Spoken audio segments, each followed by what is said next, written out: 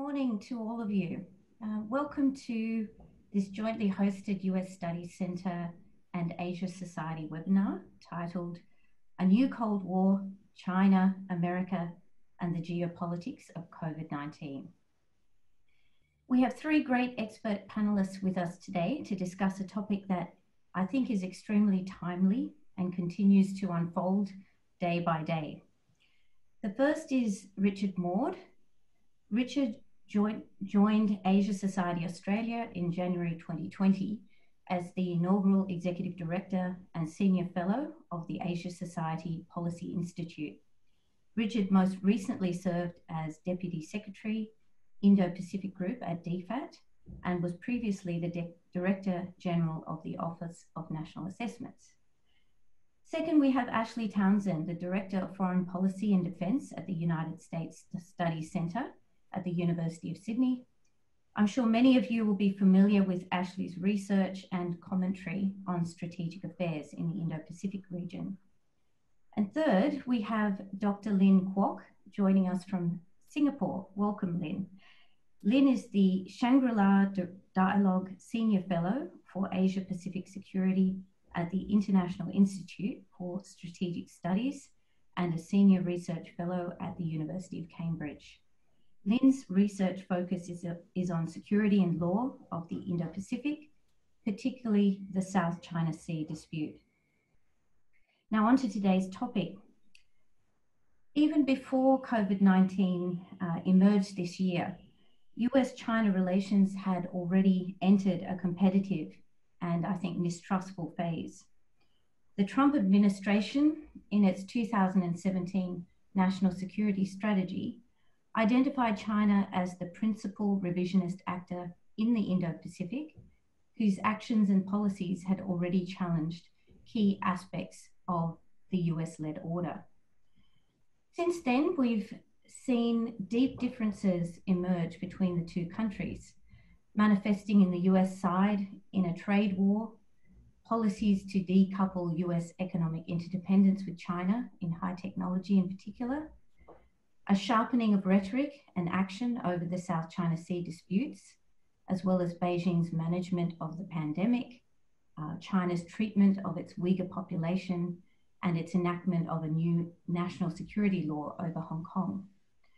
On China's side, we have seen more aggressive action in the South China Sea to, to coerce, intimidate, and prevent rival claimants uh, states from enjoying their territorial rights similar aggressive action on the border with India, matched with what is commonly termed wolf warrior diplomacy. The relationship between the US and China, in some, is characterized by deep mistrust and animosity. So relations are clearly at their lowest point uh, for many years or decades.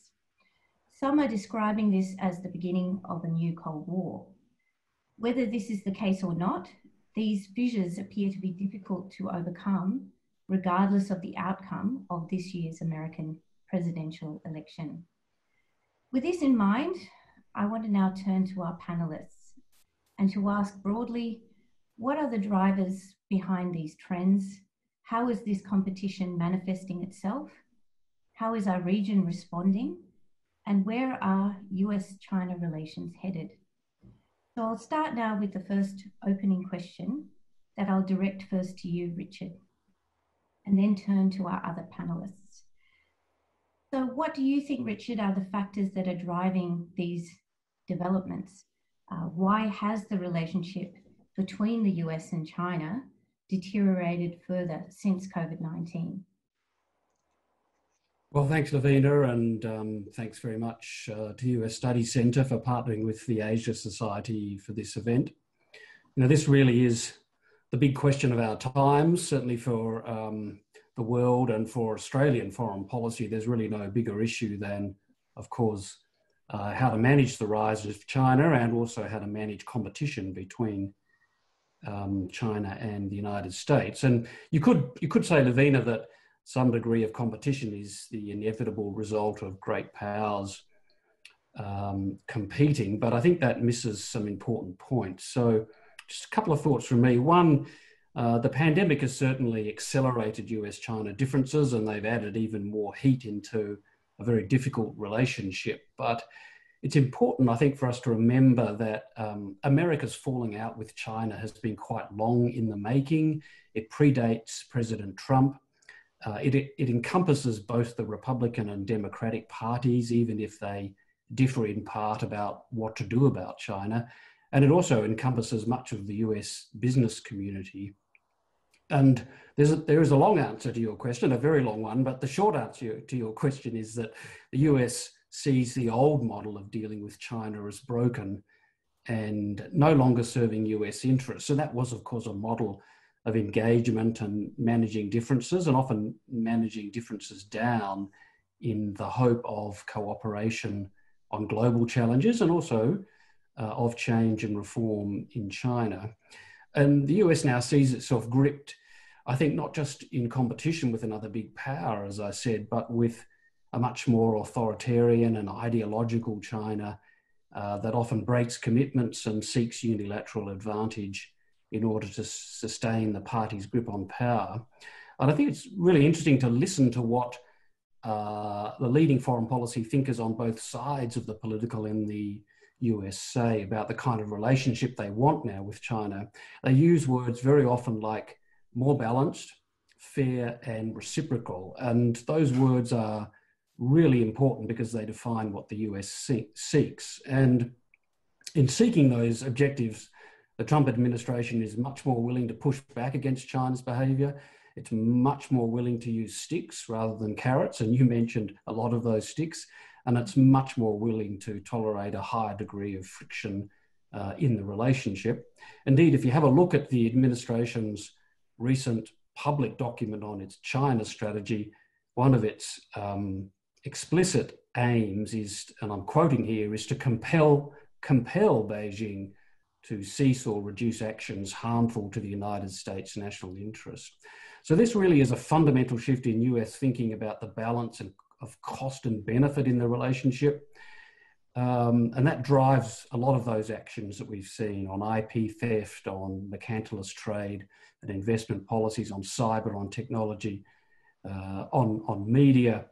Uh, my fellow panelists and I were joking that there's an announcement, you know, every day at the moment uh, on many of these issues on the South China Sea just in the last couple of days uh, or so. And, you know, I think clearly there's more to come. Now, I'm going to stop here, Lavina, and let other panelists have a go. But obviously, all of this does raise some big questions.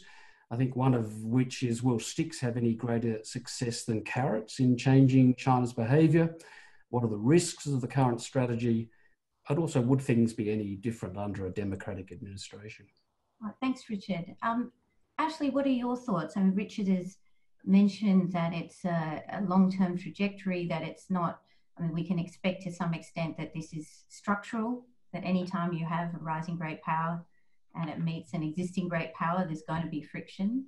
Um, but we're, we're seeing that it's deteriorating quite a lot in a very short space of time. And I'm, I'm interested in your view and also um, on, in, in a sense, is one side more at fault than the other? Um, maybe we can try and talk about that early on. Thank, thanks, Lavina. And, uh, and again, uh, let me just express my thanks to the Asia Society for co-hosting this, um, this great event with us and to you, Lynn and Double I Double S for supporting as well. Um, look, maybe maybe I might make three points to get rolling. And, and first is on, on the immediacy of the uptick in in in acrimony and in competition and in um, a cycle of escalation that is faster than many of us can keep up with. Um, I don't think it was preordained that the Trump administration, or certainly an, an, alternative US administration, but even the Trump administration had to approach uh, COVID 19 from the lens of accelerating competition, nor did Beijing. They were choices that were made, and I think it's important to note that they were choices that were made um, with a lot of momentum behind them, as, as Richard um, laid out, uh, but also choices that were made in many respects, um, irrespective of the concerns and interests of many other countries across the Indo Pacific. Uh, it's certainly the case that all of us um, have a stake in US China coordination, in global and regional coordination when it comes to COVID 19. And so it's at least conceivable that there were opportunities early on for China to be more transparent, uh, for the United States to use less. Um, you know, sort of inflammatory rhetoric in characterizing China's initial response for the two sides to find off ramps as they tried um, on a couple of occasions earlier in the year, and uh, but ultimately haven't pursued, uh, and that, that, we would have all been worse, uh, better off for that sort of relationship, and for that sort of compromise in responding to what is ultimately a shared challenge, one that none of us have experienced before, and one which will require um, engagement and coordination with all countries, including the US and China, with respective regional friends, partners, and allies. Uh, so that's the first point. And so I think reflecting on why that didn't happen is really interesting. And I think that goes to, to the second and longer term point. Uh, Richard's laid out very well, I think, that the US China antagonism is both structural as well as something which has had its origins in administrations both in the Hu Jintao administration as well as in um, the Obama administration and earlier, and wasn't a, just a product of the Trump administration. I think there's still a lot of misunderstanding about that. What I think changed in the Trump administration is that there was a removal of the political filter uh, that often constrained the kinds of public commentary and policy positions um, that, that officials or leaders in the United States system would and could take. And by that, I mean, if you had conversations with the Asia hands in the State Department during the Obama administration, or indeed um, with folks in the Pentagon uh, going back even earlier than that, you would have encountered um, a very similar strand in thinking about the kind of, uh, of threat that China posed to US interests in the Indo Pacific, both in a military sense as well as in uh, the sense of, let's say, a sphere of influence sense. Um, but many of those views were restrained and calibrated by political um, uh, uh, control at the senior levels, control that didn't want the relationship to get out of hand, uh, control that was motivated not by a sense of, of defeatism or capitulationism or anything like that, which is often how it's characterized retrospectively, but out of a concern to manage stability um, in a very important relationship, to manage all of the equities that the US has with China. Richard mentioned the business community, which at least until recently, although it's, changed over time, but at least until you know the last five years, still wasn't persuaded of the kind of turn that we're seeing now in the US system. And so you had this, this restraining factor that the Trump administration largely removed. And I think that was a product in many ways of key personalities in that administration. Um, and of course, of the president's own views on this and the president's own willingness um, to play a brinksmanship in international politics. So I think, you know, people matter. Choices could have been there. This administration has both adopted people and choices that have been less concerned by stability and by maintaining that um, that um, th- that relationship in check. I think a point to note here is is why and, and if we leave the president aside for a moment, it is the case that the United States public really wasn't that concerned about China as a strategic competitor until the last administ- until the last four years. Uh, if you look at public polling going back through the Obama years and even in the start of the Trump administration, China ranked very low in threat perceptions and is creeping up now. Um, and if it is the case that uh, there was a consensus forming over a decade, really at the elite level, that China was a competitor that needed to be responded to by the United States, and that that would need to mobilize resources and change bureaucratic patterns of behavior in order to focus attention on that challenge, then you see part of the domestic political logic for taking a more uh, strident, uh, in many cases assertive stand rhetorically in characterizing that relationship and removing that political filter. So I think that that's one of the drivers of that relationship. Lavina, that doesn't get to your third point, which is about um, blame. Uh, and I don't think that that's necessarily one that we can answer. And I think the reasons for that are that we can go back to any point on the calendar in the last 30 years uh, until to the mid 90s, uh, I would say, um, at least, and, and point to uh, tit for tat cycles between the US and China uh, that have blown out over time. Um, one of the ones that's most often pointed to is the way that China has modernized its military since the mid 90s when it became um, acutely aware of the way that the United States' capacity to wage, you know, precision strike warfare um, uh, uh, uh, against competitors, or at least against smaller states in Europe and the Middle East, could well be mobilized against it in a Taiwan Straits contingency, and has methodically set about doing something about that. I think the real question uh, that's interesting for us to answer is why has it taken so long for the United States to respond to that kind of challenge? And noting that it has taken so long, I think the urgency with responding and shifting policy settings quickly, in part, is why we've uh, seen and experienced a bit of whiplash in this administration. Oh, gosh.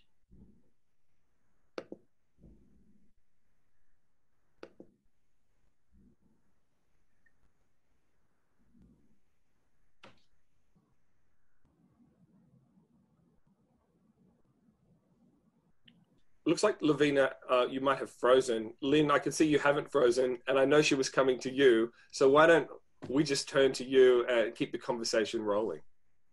Sure. Um, thank you so much. Um, I'd just like to, Lavina, we've just um, you lost me. I'm back again. Sorry. Welcome back. Um,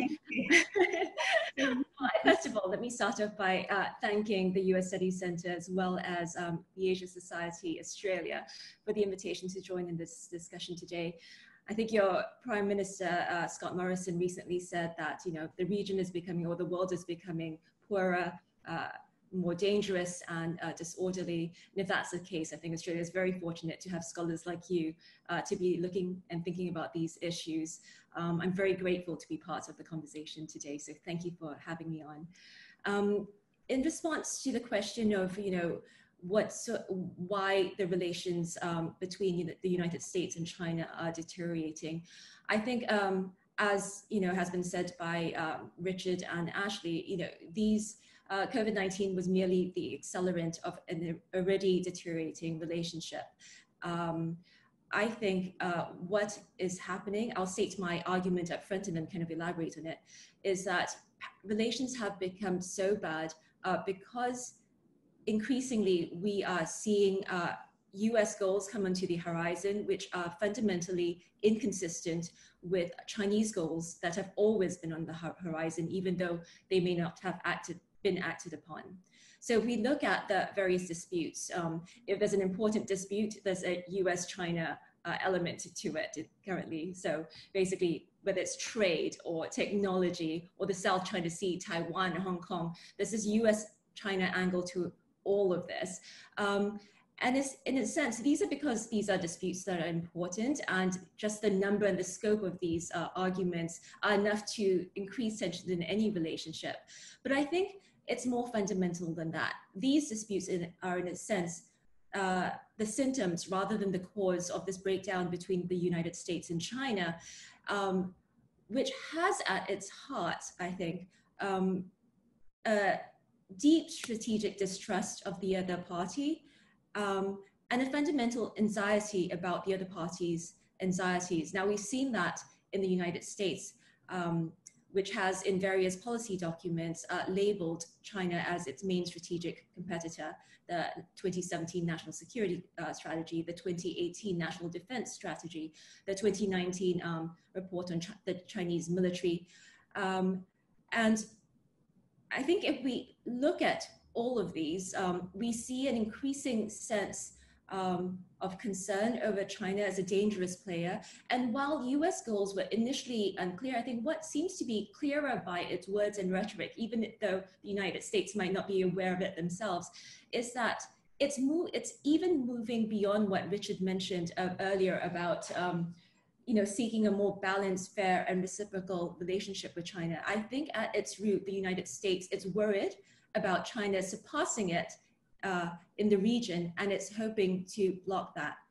Um, China, on its part, I think, has always had a belief that the United States uh, seeks to constrain its rise and wants to continue with its regional hegemony. Um, I think the Trump administration's actions have largely reinforced those views, but these views have been present, I, I would suggest, for decades. If we look at the 1996 1997 Taiwan Strait crisis, I think it, if we look at modern history, it might have begun there, and followed by the 1999 US bombing of the Chinese embassy in Serbia. You know, George W. Bush's labeling of China, China as a strategic competitor in 2001 followed by the EP3, uh, EP3 incident um, in 2001, uh, where US uh, signals intelligence uh, aircraft collided with a Chinese fighter aircraft uh, near Hainan Island. And then Hillary Clinton's throwing the United States hat in the ring in the South China Sea by um, by stating that the United States has interests in the freedom of navigation, open access to Asia's maritime commons, and respect for international law in the South China Sea. Now, China is likely, as I mentioned earlier, always to have excluding the United States um, from its what it considers its sphere of influence. Um, but I think what changed in recent years has been the fact that now it considers uh, the, or in recent years, it's considered the, United, the challenges posed by the United States as decreased and uh, China's strengths, both economically as well as militarily, to have increased. And that's why it started taking actions most dramatically, I think, in the South China Sea with its, you know, uh, almost conjuring up overnight of, you know, huge artificial islands, which are now serving as basically military bases for uh, China. So I think in short, then I think the, the cause of deteriorating US relations um, uh, with China is these fundamentally inconsistent goals of you know seeking to exclude each other from what they consider their their uh, sphere of influence um, and um, the deep distrust on both sides. Thank you. Um, I think all of you have kind of raised uh, some issues related to the this almost conceptualization of what's going on as a new Cold War. Um, and I, I know that's part of the title of this uh, event. And I wanted all of you to just consider that for a moment. I mean, it's quite a debate within um, international relations circles as to whether it's actually useful to think about what's emerging now as um, being apt uh, as a Cold War description, or whether it's actually very distinct and that we, we really can't turn back time and it's not a useful analogy. Um, so I, I think I wanted to, I, I won't go all together in the same order, but I might ask Richard first to give Lynn a break, and then I'll come back to you, Lynn.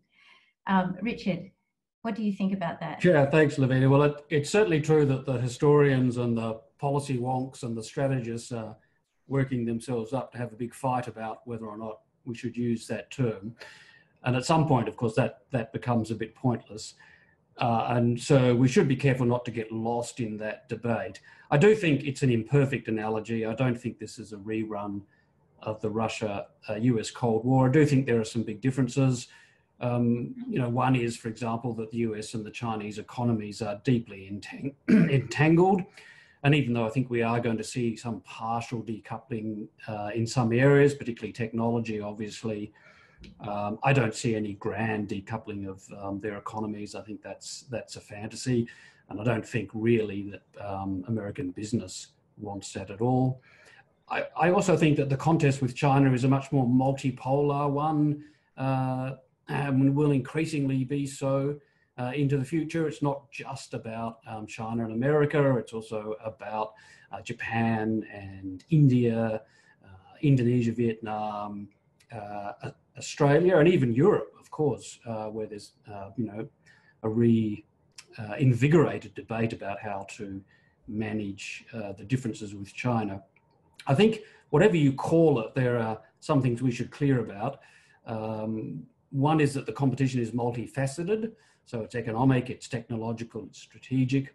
It does have uh, a quite strong ideological component to it, uh, and it's also global in its dimensions. So uh, whatever you call it, um, it is uh, a very big challenge for us all to manage. Uh, and it, and built into it, of course, are some are some clear risks uh, that all, we also need to do our best to manage. Okay, uh, Lynn, what what do you think? Um, is the Cold War analogy an apt one, or as Richard has pointed out, there's some really quite important differences? Well, I think the limits uh, to the term Cold War uh, are, are, are, quite clear to me, um, and some of them have been highlighted as well to, to Richard. But let me say this. It is a Cold War that we're now embarking upon between the United States and China in the sense that it is a heightened state of geopolitical, geopolitical competition between the two great powers that's short of a kinetic or hot war. So in that very limited respect, we are entering um, a Cold War. And I think uh, there was a concession of that without perhaps those same words by uh, Foreign Minister Wang Yi uh, in a statement, I think it was last week, when he talked about relations being at the worst point between the United States and China uh, since uh, they reestablished uh, ties um, decades ago. So, yes, Cold War because it's not a hot, hot war. But I think, like Richard, I find the analogy very um, not terribly helpful. Um, analogies are usually meant for clarification and to make an argument of sorts. Um, I, I, I, find it the, the debate around it rather confused and confusing. Um, if the argument is that the United States will ultimately prevail um, in this uh, fight against China, as it did in the Cold War, then I think um, this arguments clearly stretching it because, as Richard mentioned, there are clear distinctions between what happened during that Cold War and what's happening today. Um, the first difference that comes to everyone's mind, of course, and that was already mentioned, is that you know the U.S. and uh, Chinese economies are for, far more in integrated. Um, you can decouple in some areas, but not across the board without huge costs. And I think this point is significant because, um, yes, there can be decoupling across, across a wide arena of um, issues, but this is going to hurt the United States as much possibly even more than the United uh, and then uh, than China. So in this respect, both parties, if they sought to decouple their economies, they are going to be hurt, cutting off their noses to spite their faces. So you know that's not going to work. Uh, the second difference, I think, in my view, that's significant, is that China is economically much stronger than the Soviet Union was during uh, the Cold War. Um, so it is the second largest economy in the world. And in terms of purchasing power parity, that China surpassed the United States in 2014. While COVID-19, I think, will hurt China's growth trajectory, I think all signs are that it's likely to also be hurting the United States and its allies um, as much, if not more. The third reason I think that this uh, analogy uh, is flawed is that the countries over which China and the United States and its allies seek influence um, over today are quite different from uh, they're, in quite, they're in quite a different position from the position during the Cold War. So they are not easily going to be swayed to fall in line between blocs. They are resisting, as, we, as we've seen, um, having to make a choice between the United States and China. So quite a different set of scenarios. And I think quite apart from be, the Cold War analogy not being terribly analytically useful, I think it's, it might also be dangerous insofar as it overemphasizes the role of ideology in this fight between the United States and China. Um, I think ideology has a fairly limited uh, role to play, uh, has had a fairly limited role so far, insofar as it influences threat perceptions on both sides. But I don't think China, thus far at least, is seeking to actively export its Leninist ideology. And there's frankly very little appetite in the region uh, for this. I think countries are attracted by the China model simply because it's, it's, it's an economic power and um, they're interested in its economic offerings. Now, if the United States starts becoming too evangelical about democracy and about political regimes, and I see signs of that happening, then what we might see is first, we might see further uh, divisions entrenched between the United States and China, making the relationship even more intractable and causing even more instability. And second, I don't think it works well for the United States because it, it might limit the number of partners that the United States can usefully work with. Because if you think about it, very few countries in the world, not very few, but you know, the vast majority of countries in the world are not liberal, not countries in the world are not, uh, especially in the region, are not liberal uh, democracies. Um, and this will in turn leave a vacuum for China uh, to play, a, play into influ- influence these countries. And I think this could result in the very result that um, uh, proponents of a more ideological stance um, are seeking, namely the reversal of democratic gains in the region. So for those three reasons, namely deepening divisions, limiting partnerships, as well as possibly having the unintended consequence of reversing democratic gains in the region by opening um, the strategic uh, field to China, I think we need to avoid um, casting the debate so much as an ideological debate, I think, uh, ideological battle. And I think that Cold War illusions um, actually militate against this, um, are, are not helpful in this respect. Okay, and and Ashley, um, turning to you, maybe this is a little bit of a segue to a another question I wanted to ask about wolf warrior diplomacy. So Lynn's raised, and, and both Richard and Lynn have raised some very important points about differences between what happened in the Cold War and what's happening now. Um, but I, I, wanted to maybe ask you a little bit about the idea of ideology um, and uh, the role of ideology. Um, you know, there are some that would, would argue that that it is actually about the, the differences in ideology and political system um, that might have been driving what's going on now. Um, and when you look at some aspects of wolf warrior diplomacy that we see uh, emerging this year, um, some aspect of that is also about saying that the Chinese system is a better system in dealing with pandemics, um, things that require um, control of, of, population in a, the most efficient way. Um, what, what, do you think about that, about the, that role of, of, kind of a promoting the political system of the Chinese um, government, uh, as well as whether wolf warrior diplomacy, what, what's driving this wolf warrior diplomacy? Is it about insecurity or is it about actually propelling some strategic interests? Um, I'll, I'll, leave that to you. Thanks, Lavina. Um, let me make one very quick point about the Cold War, and, and I'll come to that question. And that's simply to say I, I agree with with uh, with Richard, Richard and Lynn um, that the characterization is imperfect.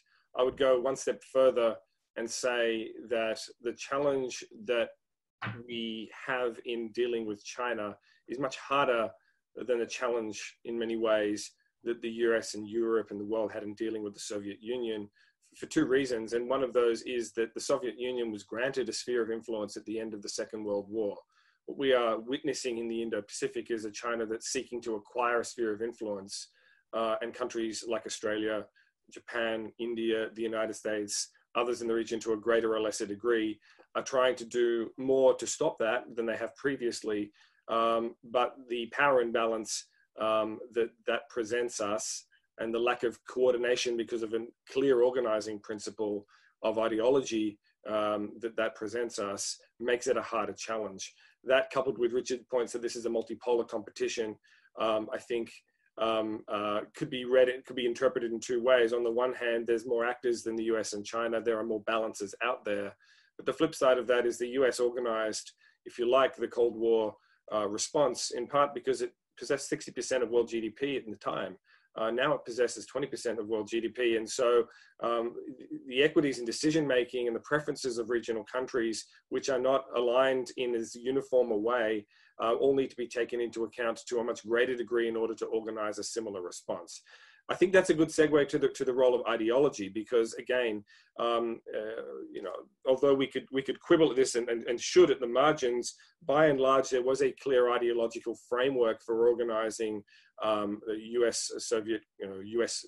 Western Eastern competition during the Cold War um, that is lacking today. I share Lynn's point, uh, Lynn's view rather, that um, an increasingly um, uh, ideological and um, political systems focus by um, the US or, or any countries that are US allies um, has, you know, has very clear risks attached to it um, because of the way that countries are both unable to, even if they wanted to, adopt that similar position because of their dependencies in other domains on China in ways that are not going to be decoupled, or because the nature of their regime, uh, of, the, of the regime, the third party regime itself, is not a democracy and is yet a strategically useful uh, country for the US to be pursuing greater alignment within the region. And so, for those two reasons, um, just for starters, ideology is not going to be the organizing principle. But we are seeing um, the US adopt a more ideological framework, at least in rhetoric. Uh, I think the new White House uh, China strategy is a very good example of that, as are speeches made by Mike Pence, um, Pompeo recently, the Secretary of State, um, that also play on the importance of uh, you know, US values, the championing of, of values freedom and openness, uh, respect for sovereignty and non-interference, all of these things, which of course are easy to agree with, but not necessarily the lens with which it is the most effective way to galvanize alignment patterns in the region.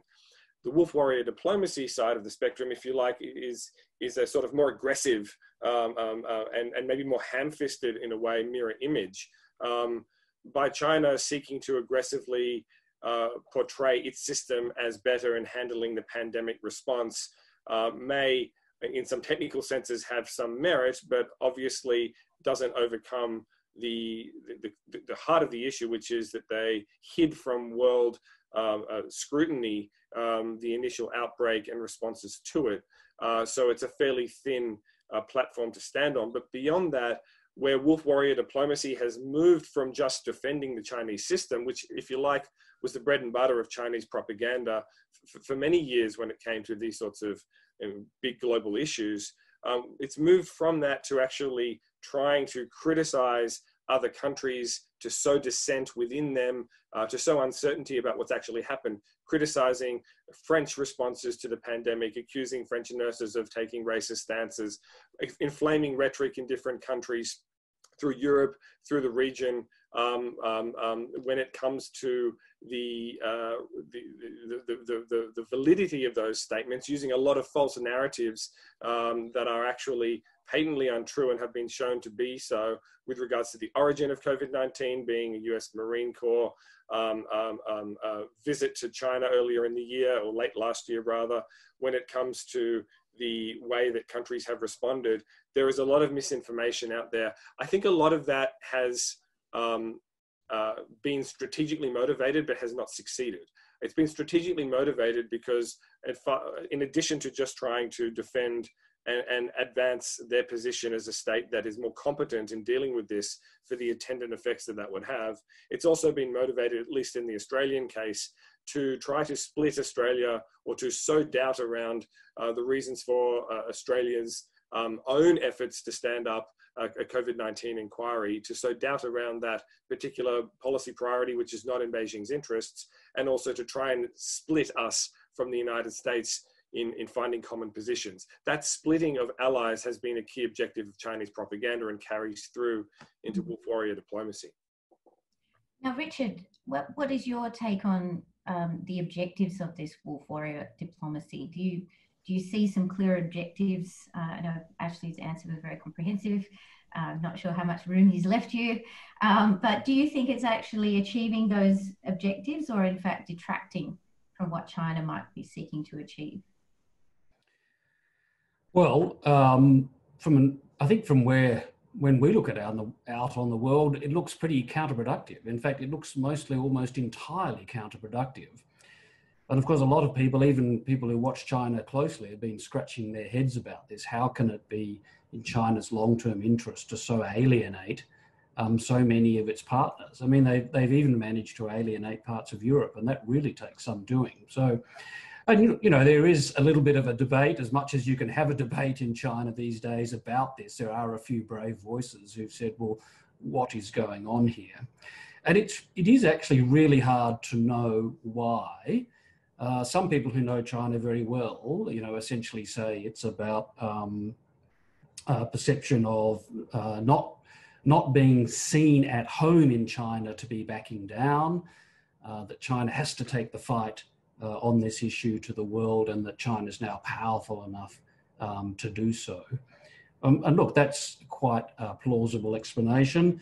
Another one might be that um, the system that Xi Jinping built is pretty rigid these days, and you know when a general instruction comes down to uh, be more aggressive in your diplomacy, which is actually what um, the Chinese Foreign Ministry was instructed to do, um, you know everybody really gets the instruction, and so they're all out there uh, going their hardest and seeing what um, their fellow ambassadors are doing around the world. But the short answer is uh, I think it's been highly counterproductive um, for them. I'm going to give you two cents on ideology, though. Okay. we, shouldn't get, we shouldn't get lost in this either, but it's a, it's a fantastic, uh, important subject. I think Lynn is right that um, China is not really trying to export its model, model of governance. I don't think it really expects its neighbours to become, uh, you know, to, to create communist parties and run themselves like China. But I do think ideology uh, is really a really important uh, part of the problem we have um, with China at the moment for a couple of reasons. One is the party now places this enormous emphasis on ideological security and purity, and they see this as the key to preserving the party within China. Um, and of course, now that has an, an, enormous extraterritorial reach to it. And this is one of the big rub points um, in the relationship the misinformation campaigns, the foreign interference, the reaching into countries like Australia and America to uh, try and shape debate, to control the narrative, to influence Chinese communities, overseas Chinese communities. And this is a this is a undeniably one of the big friction points we have um, with China at the moment. And so the second point about ideology is, while China doesn't really expect the world to become like it, it's certainly interested in reshaping parts of the global system so that it's more accommodative of China's interests and its form of government. I'm going to, I could go on a lot, but I'm going to stop. Thank you. Um, Lynn, I'm, I'm going to bring in, you in there, um, not necessarily to talk about wolf warrior diplomacy, but I'm, I'm actually interested in talking a little bit about the region and bringing in your expertise about the region. Uh, part of that is wolf warrior diplomacy and what effect that is having, because we, we see that China is also pressuring a lot of Southeast Asian countries to be very grateful um, for the, their health, uh, I guess, equipment and any assistance that they're giving. So it's uh, the, the flip side to the, the more coercive aspects of wolf warrior diplomacy is also that, again, what you just said, Richard, that construction of the narrative about, you know, this is why China in the region is a good thing, and here here's a concrete example of of what China can can do for these smaller countries. Um, I also wanted to bring in more generally, so we're talking about US China and how it's playing out in the region and affecting the strategies uh, of Indo Pacific countries, particularly Southeast Asia. Um, and I've got a, a question from um, John Lee in the audience listening, um, and he asked uh, I think, an important question about hedging strategies. So we know that Southeast Asian countries um, have a, a, hedging strategy when it comes to the US and China. They want to benefit from both countries and they don't want to be forced to choose. And he has asked here um, that Southeast Asian countries um, often argue that they shouldn't be forced to choose, whilst in the meantime, countries like the Quad countries uh, making their own arrangements. They're taking active steps to counter um, some of the more adverse aspects of Chinese policies. And has this fence sitting been detrimental to both ASEAN and the ability of Southeast Asian states to shape the agenda? Um, what's your view on, on how this is playing out? Thank you. Um, let me address uh, those questions in turn. So um, the effectiveness of wolf warrior diplomacy uh, in Southeast Asia. I think I would broadly agree with what Ashley and Richard have said, namely that you know it's been counterproductive. Um, it's been rather obnoxious and off-putting, um, but I don't think that you know the the region necessarily or the international audience was, necess- uh, was the target of Chinese um, Wolf Warrior diplomacy. It was a domestic message um, meant to uh, assert the primacy of uh, China's or the efficiency of China's response over others. Um, that said, um, I don't, while it wasn't helpful, I don't think it's going to have long lasting negative implications, at least in Southeast Asia.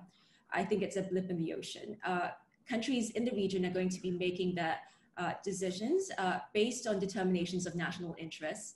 Um, and as off putting as, as, Chinese diplomacy might have been through the COVID uh, 19 crisis, um, that's probably not going to factor in uh, dramatically into their decision making process. I think they're going to be looking at broader factors. So, how China behaves in the South China Sea and elsewhere. So, you know, how it behaves in Hong Kong, how it behaves in Taiwan. These are all imp- uh, important factors that the region will be looking uh, to factor in, um, looking at. Um, so, and the second factor I think they will be looking at is um, the United States and its uh, ability, uh, its reliability as an ally and partner um, as well as its ability to frame uh, the frame the issue as one that is about, as Ashley mentioned earlier, earlier about defending a free and open Pacific. So values-based, um, not necessarily democracy, but the values of you know the rule of law the importance of the rule of law freedom of navigation the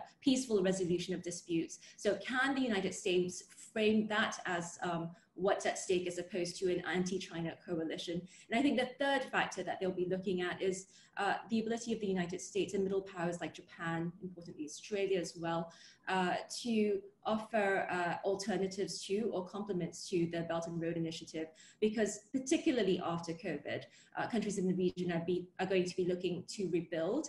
Uh, they're going to be looking to develop, and infrastructure is going to be critical, as, um, and health infrastructure is going to be critical in this respect. And I think we should all be noting that uh, Xi Jinping has already talked up a health Silk Road.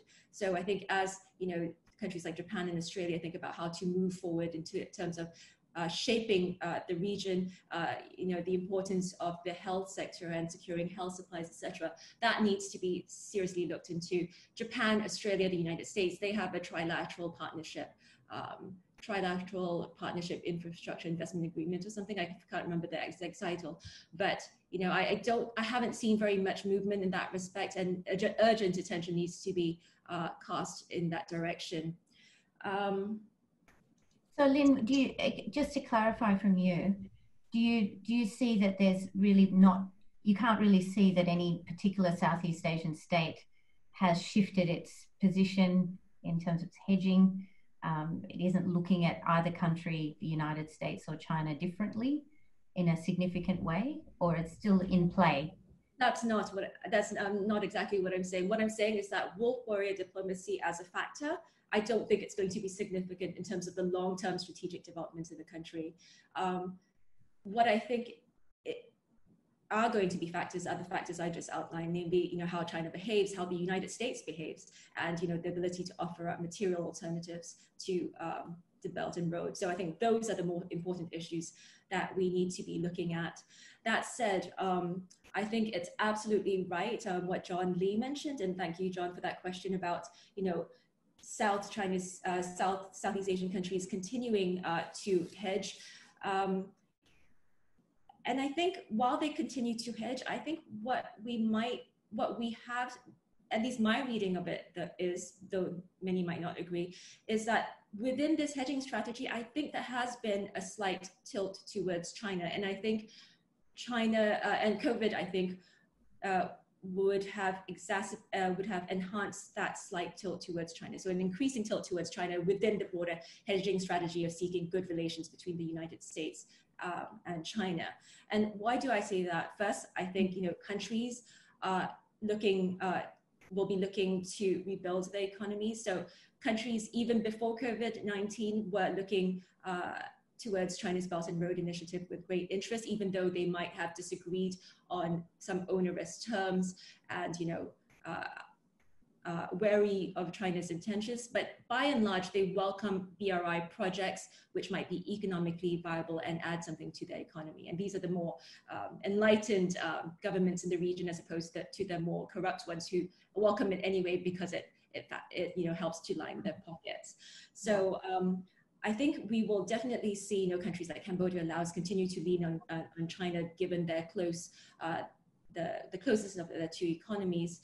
But if we look at countries like Indonesia, for instance, Indonesia went to China uh, offering up $91 billion worth of uh, uh, infrastructure projects pre-COVID-19. Post-COVID-19, we've seen um, where we've seen Indonesia already during COVID-19 suffer the worst mortality rates. It could suffer a whole lot more. So post-COVID-19, I expect it to see to enhance um, economic uh, ties with China further, despite uh, problems in the security realm. So despite its you know overlapping claims, uh, overlapping EE, uh, maritime claims. Uh, Malaysia as well. The current Malaysian government, you know, lacks legitimacy. There's plenty of infighting, and prior even to COVID, you know, it's it, Malaysia's economy was struggling. We're going to see this government, which already had close ties with China prior to May uh, 2018 when it lost power. We're going to see this government seek to enhance uh, ties with uh, China because it's already working very closely with China in terms of a COVID response. So I think there's this tilt definitely uh, towards China, at least with some countries in Southeast Asia. As for whether or not uh, Southeast Asia's failure to take sides actually hurts its ability to shape the region. So thank you again, John, for that, that question. Um, I, I think it does to a certain extent, and I think that they are trying to uh, get more into the game of shaping developments in the region. And, and we saw that attempt with its um, issuance of the ASEAN Outlook on the Indo-Pacific in the summer of 2019. Um, that sought to, you know, reference the Indo-Pacific, so actually use Indo-Pacific terminology, which of course the United States and its allies prefer, while at the same time, you know, mentioning the importance of infrastructure development to, in, in the region. It didn't talk about the Quad, but it did talk about um, which, which of course China does not like, but it did talk about um, uh, the importance of economic integration and connectivity in the region. It tried to reassert ASEAN centrality and the importance of you know uh, international law and the rules-based order. So it sought to balance, um, even as it sought to um, uh, give its view, its outlook on the Indo-Pacific. So it's trying to stay in the game um, by I think trying to shape the Indo-Pacific strategy or vision as something that is about you know, the importance of the rule of law, the rules-based order, etc., as opposed to something that is about containing China or take, seeks to uh, take sides. But I think ultimately um, uh, the proof will be in the pudding as to whether or not it is able to uh, shape developments because it's not only words that matter but actions as well. And I think the true test the ultimate test will be in whether or not you know ASEAN and its member states will be willing to perhaps pay a price uh, to ensure uh, that the rules that they uh, hold dear are maintained um, so that in the long term, even though they might suffer some short-term economic consequences, they are put on a more stable foundation for future economic growth and stability. Thanks, Lynn. I think this um, we've, we've got about five minutes, I think, left. So I want to bring in Richard and Ashley. Um, we, we, really need to also talk about Australia and how Australia fits in with this, uh, in, you know, growing competition between the US and China. And I wanted to ask if you, either of you would like to leave some con concluding thoughts. Um, I think what Lynn just raised about uh, the fact that Southeast Asian countries might be in fact tilting towards China, or there's opportunities for China to capitalize on weaknesses that will definitely emerge from COVID 19. Um, what do you think in terms of how Australia should best advance its interests amid this growing competition? Um, could I ask Richard first to, to give your thoughts and then I'll ask Ashley next. Thanks, Lavina. so there's a few things uh, that we are already doing uh, because Australian policy, of course, has evolved quite a lot in recent years and that we should keep keep doing. Um, there's probably a couple of things that we're not doing that we might think about. Um, and really, we've got a kind of three part policy. One is that we're hardening ourselves domestically against some particular threats to security and sovereignty that China poses. So you see that in 5G, foreign investment, uh, cyber, and so on. And we're just going to have to keep doing that, even though China doesn't like it, because those threats are real and they're significant enough that we just can't simply ignore them. Second, we have to keep working with other countries in the region, not, uh, not to contain China, that would be folly, but to balance its power in the region and help support the resilience and sovereignty of key partners who are feeling um, the same kind of pressure. And I think our goal here is accepting that China's influence is going to grow uh, in the region. We can live with that. What we don't want is a region that has a might is right culture or a Beijing centric regional order in which countries are forced to defer to China's interests and authority. I think we've got a reasonable chance um, to achieve that.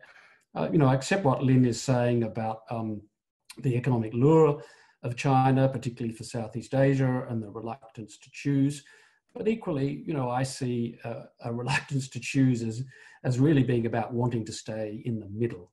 And we're also seeing, I think, greater signs of a loose coalition of countries in the Indo Pacific who want to work together to balance um, China's power. And then the third thing, we have to work very hard um, on both China and Washington. From an Australian perspective, we have to be clear that the relationship uh, is not going to work on the terms that China currently is seeking to set. We've got to pick our fights carefully, but be prepared to pay an economic cost when it's important enough. But we shouldn't close off opportunities for working with China where there are benefits to this. And then on the US, we have we don't have time for this, but you know there are some risks and problems with the current uh, US strategy, even though it's responding to behaviours that really do damage its interests. And so what we want is to encourage the US to respond to China's challenge in a proportionate way. There have to be enough off-ramps and flexibility in its strategy to de-escalate. And we really need to find some space for the US and China to continue to be able to work together on big global challenges that really matter, like climate change. And Ashley, probably two minutes. Thanks, Lavina. I will be very brief. Um, look, I, I mean, I, I, agree with, with the points Richard just made. I'll make two brief ones. First is, I think, um, when it comes to accepting a degree of cost, as Lynn said, um, if we are to move from hedging to doing something about the predicament, Australia has in many ways led the way there over the last few years. Richard just alluded to that.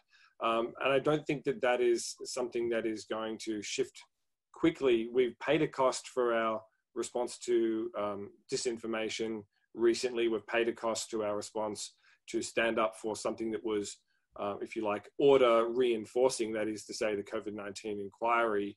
Those are calculated costs made at very senior levels, and I think um, um, should also signal to the region um, that uh, there is in, in Australia a, a, a, a, a willingness um, to not only um, uh, seek in words to preserve original order, but to actually undertake deeds, including with others, that will help to reinforce that.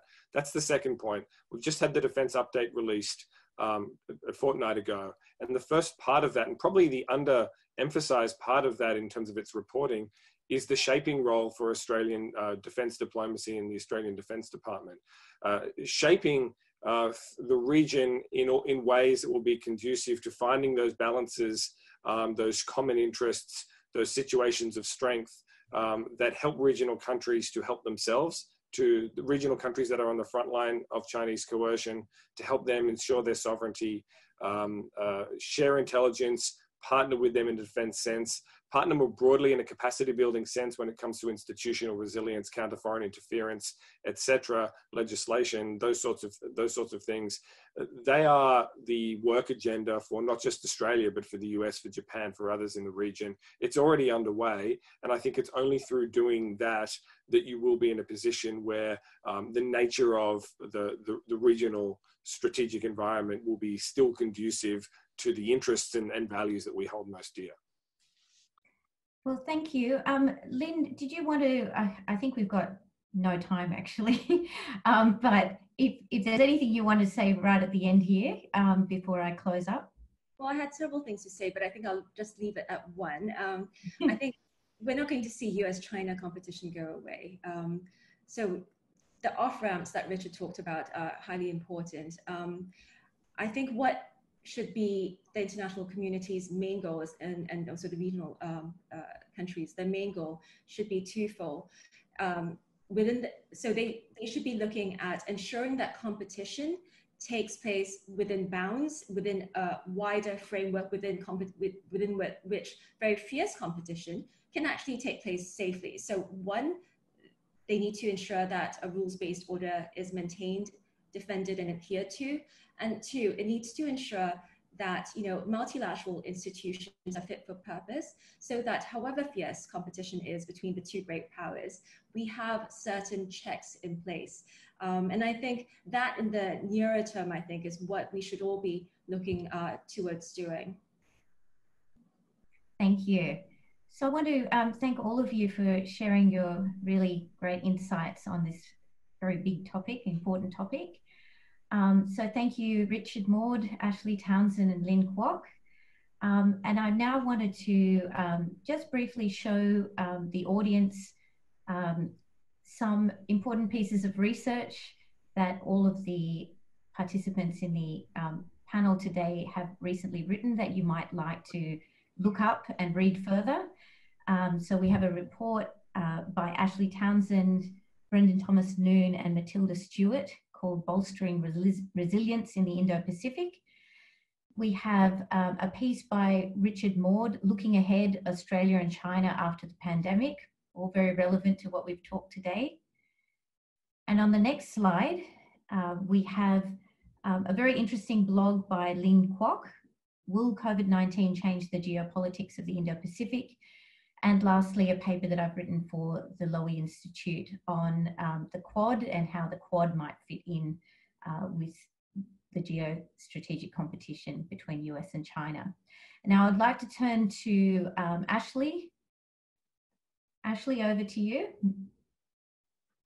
Oh, thanks, Lavina. Thank you very much um, uh, for moderating. Great discussion today. I'll be brief here, but just a quick plug. Um, that next Wednesday, uh, the US Study Center will be running a webinar um, with those you can see on the screen, um, moderated by our CEO, Simon Jackman, uh, that will foreshadow a little bit of the discussion for the upcoming uh, US Australia AUSMIN consultations, and where we'll discuss the report Bolstering Resilience in the Indo Pacific that you just mentioned. And Richard? Oh. Uh, thanks, Lavina. I don't know whether that slide's going to come up, but I was going to plug um, an Asia Society event. There it is. There it on is. the need for a green recovery uh, in Asia uh, with uh, one of my colleagues at the Australian arm of the Asia Society Policy Institute, Patrick Suckling. Um, can I thank you uh, and my fellow panelists? Uh, particularly great to have Lynn here because it's really good to have a perspective directly from the region. Also wanted to recognise we had a hell of a lot of really good questions. Uh, I was trying to type answers to some of them, but my fingers weren't fast enough. Um, uh, and the questions I think go to the complexity of the and the importance of uh, this set of issues for Australian foreign policy. So maybe at some other point we can come back and tease some of them more out. Thanks very much. So thank you all again, and thank you all in the audience for joining us today. I hope you found it um, really interesting, um, and that you'll join us for all of those further events coming up. Um, and thanks again, Lynn, and the Asia Society and the US Study Center.